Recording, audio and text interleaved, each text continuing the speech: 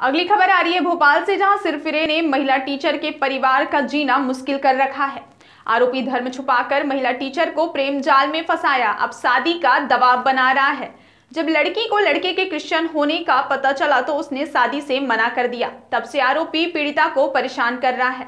वह उसके घर पहुंचकर खिड़कियों से ताक झाँक करता है, गाड़ियों में तोड़फोड़ कर चुका है। पीड़िता के पिता से भी मारपीट कर चुका है।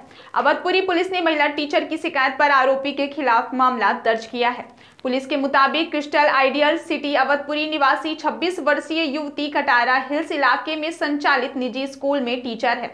मूलतः केरल की रहने वाली युवती ने पुलिस को बताया कि उसके साथ पूर्व में अभिषेक शर्मा की सागर पब्लिक स्कूल गांधी नगर भोपाल में पढ़ाता था। जिससे उसका परिचय हो गया। बाद में पता चला कि अभिषेक का चरित्र ठीक नहीं है।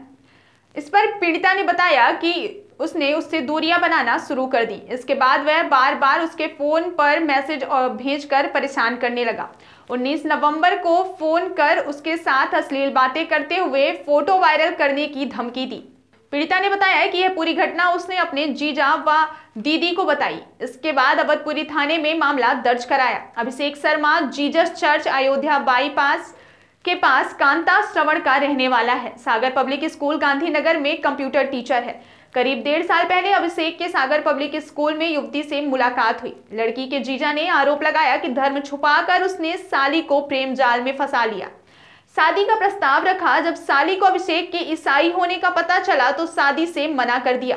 तीन जून को जब पीड़िता स्कूल से घर जा रही थी, तब एच बैंक के सामने टनाटन ढाबे के पास। दोपहर के समय स्कूटी रुकवा कर अभिषेक ने उससे मारपीट की। इसके बाद पीड़िता ने आरोपी के खिलाफ एफआईआर दर्ज कराई। इसके पहले भी पीड़िता पुलिस को कई बार शिकायत कर चुकी थी।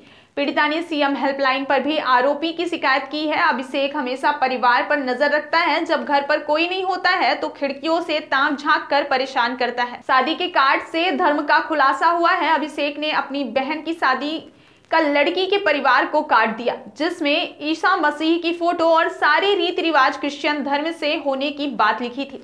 इस पर युवती को पता चला कि अभिषेक क्रिश्चियन है। जब लड़की ने अभिषेक से सवाल किया तो बताया कि वो क्रिश्चियन है और शादी के बाद उसे भी क्रिश्चियन धर्म अपनाना होगा। परिजनों ने बताया कि लड़की सागर पब्लिक स्कूल कटारा में पढ़ाती है। अभिषेक शर्मा गांधीनगर ब्रांच में काम करता है।